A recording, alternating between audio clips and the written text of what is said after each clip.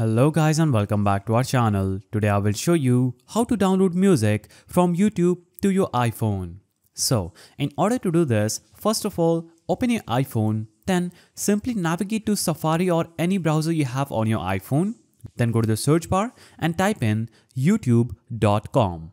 Now this will instantly open YouTube on your iPhone where you'll have to simply click on an rectangle icon at the bottom left of the screen that you will see. Then choose desktop site from the settings that you're going to see there. After this, your YouTube will look something like this. Here, you'll have to simply pinch into zoom.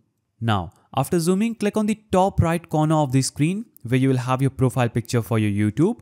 Make sure you're logged in before doing this. Now, click on YouTube Studio button that you will see from these options where it is going to take you to studio.youtube.com. Now, click on this small audio library icon at the bottom left of the screen. Now, when you click on audio library options, you're going to see a bunch of music appearing on this screen. You can easily click on the play icon to play it.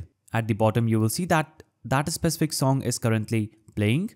Now, simply scroll to the right side of this and when you zoom in, you will see the download button appearing saying download audio track. Click on this download icon and this will instantly download that specific audio or music from YouTube to your iPhone.